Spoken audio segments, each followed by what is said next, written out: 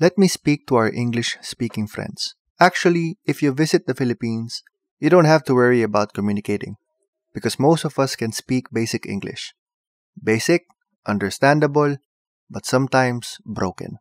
For example, if you're looking for someone, you might ask, Did you see my friend? And we might answer, Oh, she just passed away. Don't worry, she's probably not dead. What we actually mean is that she just passed by and went away. So I guess Tagalog could come in handy. And good news, all you have to learn is the Filipino alphabet. Then you're done with the basics. Look, A is the first letter of our alphabet. You heard that right. That is pronounced A. When someone's trying to explain something and you finally understand it, Americans say, oh. We say, ah. The second one is pronounced ba. If you double it, you get baba. That means down. Bababa means going down. And baba baba is asking, are we or is it going down? See, with just two letters in your arsenal, you can now converse in Tagalog. Baba baba, bababa. Ah. Although it sounds primitive right now, don't worry. We got more letters for you. We don't have a C. Instead, we have K. It is same as your K, which means okay in a passive aggressive text. Let us use your pronunciation for D. It's also a passive aggressive way of saying no in Filipino, like galit ka ba? Or are you mad? She might answer D or nope. She's saying she's not mad, but you know how it goes. When she starts replying with just one letter, you better prepare for war. This one is pronounced E, usually used during grown up tantrums, like if she wants to go to the mall, but you want to stay home instead, she might protest by saying, eh. But if she agrees, she might say G, short for game, meaning she's game. The next letter is pronounced ha. If you can't hear what she just said, just say ha. It's pretty universal. Americans say ha, other Asians say ha. This one is pronounced e.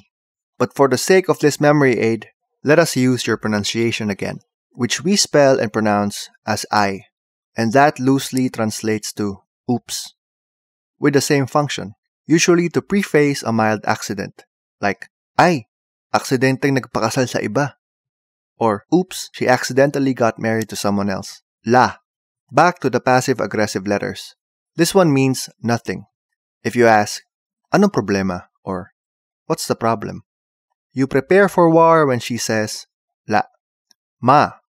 This one's pretty universal too. As mother, we say ma.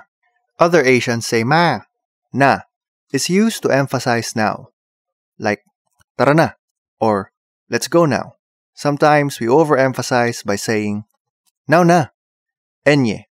In the Filipino alphabet, this letter is the most useless. It only appears in the surnames of friends that are difficult to tag when you're on a laptop. Nga. This is probably difficult for you to pronounce, but say it with me. Nga. Say it twice. Nga, nga. And you just did it. You just did the nga nga, which means to open your mouth. Some of us use it to describe someone who's in disbelief, like when someone loses big money in a bet. You may call him nga nga. Oh, a passive aggressive way of saying so, or so what? Like, ang cute ng pusa oh. Or, the cat is so cute. If she says, oh, do not move a muscle, she's not in the mood. Pa means father. Pa. Q. We don't have a Q, but we do have banana Q, sometimes spelled banana Q. It's a banana barbecue, and we're not joking. Ra. You've seen tara earlier, meaning let's go. Ra is just the shorter version. If you're really excited to go, just say ra ra ra ra ra ra ra. Repeat up to the point where everyone panics and finally moves. Ra ra ra ra ra ra ra. S. Let's save S for later. Ta. Can also be used instead of ra. It works the same way. Ta ta ta ta ta ta ta. You is same as your you, which means you.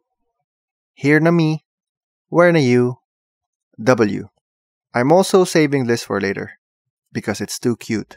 X. We don't have an X. We forget the X's, but think about it at night. Y.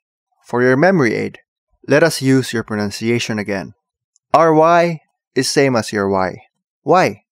Why be? Why ga? Why love? Why nak? Why po? But for the really sophisticated ones, who can afford to buy more letters, why pose? And we don't have a Z. Who needs Z's anyway? We don't even pronounce it in rendezvous. And finally, as promised, let's put S and W together. This can be used to summon a cute Filipino cat. Just say, there you go. It's not formal, but who needs formal anyway? Come visit the Philippines. Ta ta ta ta ta ta ta ta ta.